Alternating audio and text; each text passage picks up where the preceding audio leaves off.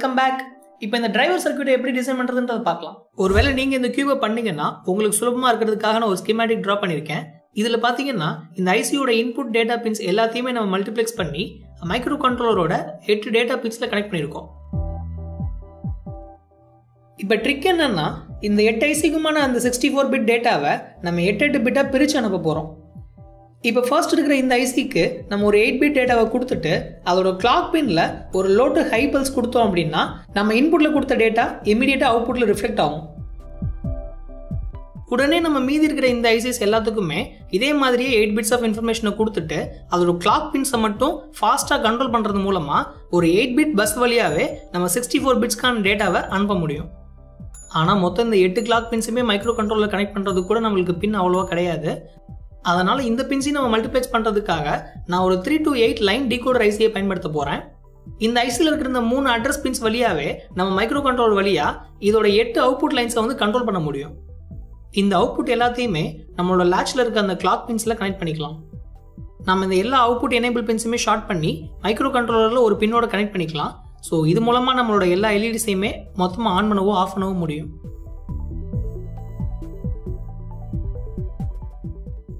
இது வரைக்கும் நம்ம பார்த்த எல்லாமே ஒரே ஒரு லேயருக்கு மட்டும்தான் அப்ளை ஆகும். இதை நம்ம எட்டு லேயர் எக்ஸ்ட்ராப்புலேட் பண்ணிட்டு ப்ரோக்ராமிங் சைடில் கொஞ்சம் ஒர்க் பண்ணுறது மூலமாக இந்த எல்இடி கியூப்ல ஒரு இன்ட்ரெஸ்டிங்கான பேட்டர்னை கொண்டு வர முடியும்.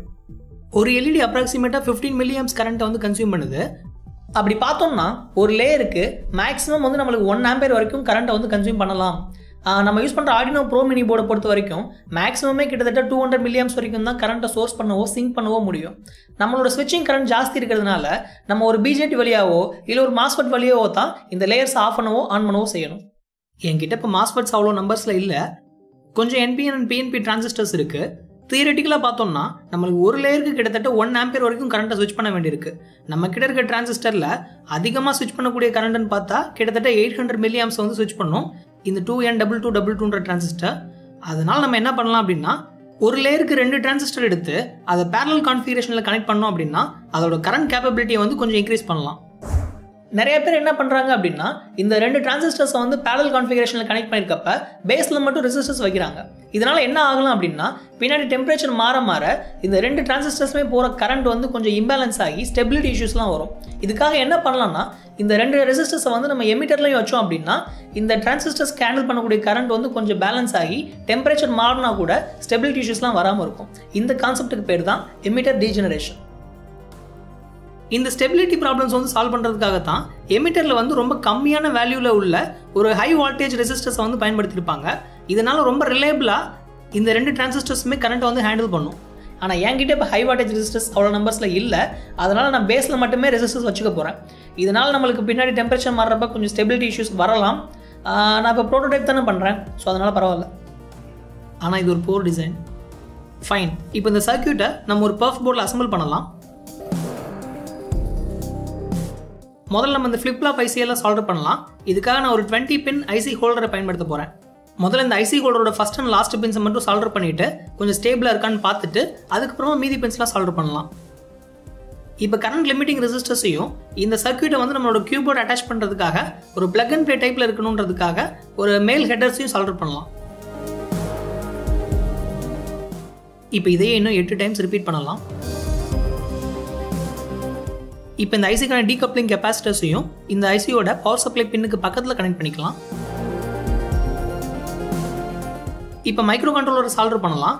ஆனால் இதை வந்து பிளக் அண்ட் ப்ளே டைப்பில் கனெக்ட் பண்ணுறதுக்காக ஃபஸ்ட்டு ஃபீமேல் ஹெடர் பின்ஸை கனெக்ட் பண்ணிவிட்டு அது மேலே இந்த மைக்ரோ கண்ட்ரோலரை வைக்கலாம். இப்போ டிரான்சிஸ்டர்ஸை சால்டர் பண்ணலாம். இதோட பேஸில் வைக்கிறதுக்காக எனக்கு sixteen one kilo ohm resistors தேவைப்படுது. ஆனால் இப்போ என்கிட்ட சிக்ஸ்டீன் நம்பர்ஸில் த்ரூ ஹோல் ரெசிஸ்டர்ஸ் இல்லை.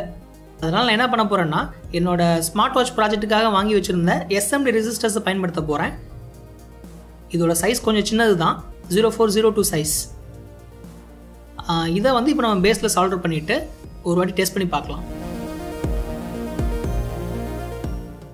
ஒன் கிலோவும் கரெக்டாக இருக்குது இப்போ இந்த காமன் கேத்தோட் பின்ஸை நம்ம டிஃபால்ட்டாக ஒரு லாஜிக் ஸ்டேட்டில் வைக்கிறதுக்காக ஒரு டென் கிலோ ஓம் ஜிப் ரெசிஸ்டர் வந்து பயன்படுத்த போகிறேன் இதில் எட்டு ரெசிஸ்டர்ஸ் இருக்குது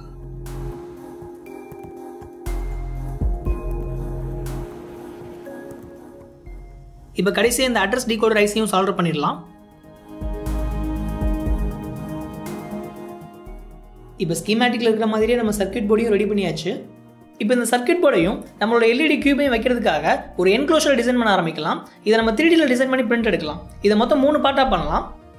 இந்த எல்இடி ஸ்ட்ரக்சரை வைக்கிறதுக்கு ஒரு பேஸ் பிளேட் ஒரு பார்ட்டாகவும் இந்த எலக்ட்ரானிக்ஸ்லாம் வைக்கிறதுக்கு சென்டரில் ஒரு பாடியும் இந்த எலக்ட்ரானிக்ஸ்லாம் உள்ளே வச்சுட்டு க்ளோஸ் பண்ணுறதுக்காக பாட்டமில் ஒரு லிட்டும் செய்ய போகிறோம் முதல்ல நம்ம இந்த எல்இடி ஸ்ட்ரக்சரை வந்து இந்த பேஸ் பிளேட்டில் அட்டாச் பண்ணலாம். நீங்கள் இந்த எல்இடி பின்ஸ் எல்லாத்தையுமே லைட்டாக பெண்ட் பண்ணிவிட்டு அதில் வயர்ஸை சால்டர் பண்ணி டைரெக்டாக வந்து சர்க்கியூட் போர்டோட கனெக்ட் பண்ணலாம்.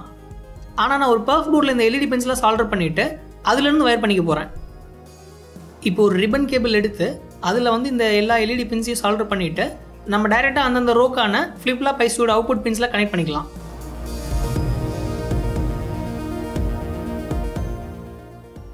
நமது டிரான்சிஸ்டர்ல இருந்து இந்த எல்இடி கியூபோட ஒவ்வொரு லேயர்லையும் கனெக்ட் பண்ணுறதுக்கு தனியாக ஒரு பின்ஸ் வச்சு எல்லா லேயர்லையும் நம்ம இந்த கேத்தோட் பின்ஸை வந்து சால்டர் பண்ணணும்.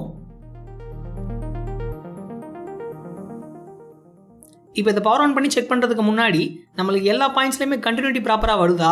எல்லா இடத்துலையும் வோல்டேஜஸ் கரெக்டாக வருதான்றதை செக் பண்ணிக்கலாம். அதுக்கப்புறமா நம்ம ஐசிஸை கனெக்ட் பண்ணிட்டு பவர் ஆன் பண்ணி பார்க்கலாம். இந்த எல்இடி கேபிள்ஸை நம்ம சர்க்கியூட் போர்டோட கனெக்ட் பண்ணுறதுக்கு முன்னாடி ஜஸ்ட் பவர் ஆன் பண்ணி எல்லா லேயர்லையும் இருக்கிற லைட்லாம் ப்ராப்பராக எரியுதான்னு பார்த்துக்கலாம். இப்போ இந்த எல்இடி கேபிள்ஸை அந்தந்த ஃப்ளிப்லாப்போட அவுட்புட்டுக்கு கரெக்டாக கனெக்ட் பண்ணிடலாம். இப்போ மைக்ரோ கண்ட்ரோலரில் ப்ரோக்ராம் பண்ணுறதுக்கான அந்த கேபிள்ஸையும் நம்ம வெளியே எடுத்துகிட்டு வந்துடலாம். இந்த ஓவர் லேயர்லையும் நீட்டிகிட்டு இருக்க அந்த கேத்தோட் பின்ஸை இப்போ கட் பண்ணி விட்டுறலாம். இப்போ இந்த பாடியில் நம்மளோட ப்ரோக்ராமிங் கனெக்டரை வந்து இன்சர்ட் பண்ணிக்கலாம். அப்புறம் ஒரு ஸ்டேட்டஸை வந்து இண்டிகேட் பண்ணுறதுக்கு ஒரு சின்ன எல்இடியும் கனெக்ட் பண்ணிக்கலாம். பவர் ஸ்விட்ச் இப்போ இந்த பாடியில் நம்ம ஒரு ரீசர்ச் ஸ்விட்ச் அட்டாச் பண்ணிக்கலாம். இப்போ நம்மளோட எல்இடியோட பேஸ் பிளேட்டையும் நம்மளோட பாடியையும் அட்டாச் பண்ணிடலாம்.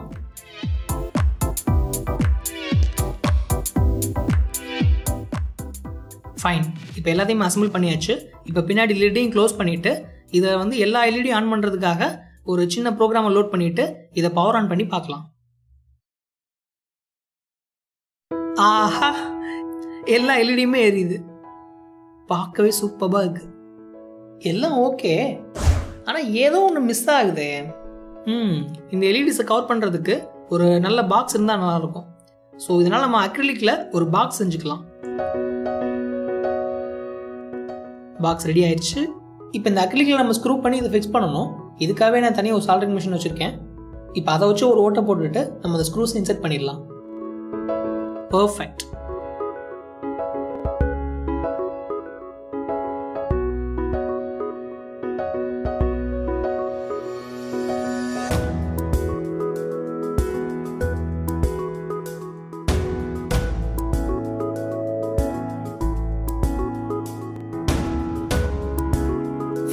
இப்போ நம்ம கியூப் ரெடி ஆயிடுச்சு.